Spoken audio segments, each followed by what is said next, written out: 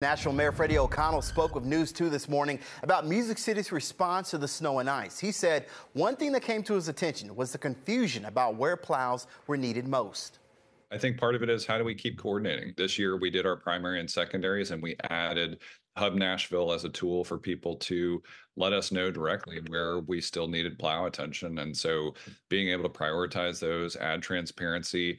Uh, there was a lot of confusion about the plow schedule. And so we want to have real time tracking of this so people can see not only where our plow fleet is, We've got new plows on the way. They were already ordered. We've had some supply chain delays for heavy vehicles, but state of the art equipment should be here, we hope, fingers crossed, before the next winter weather event. Uh, and we always do after action review of these kinds of things to see what we could do better. Metro Social Services and the Office of Homeless Services have made the call to close the cold weather overflow shelter Monday morning after 10 a.m.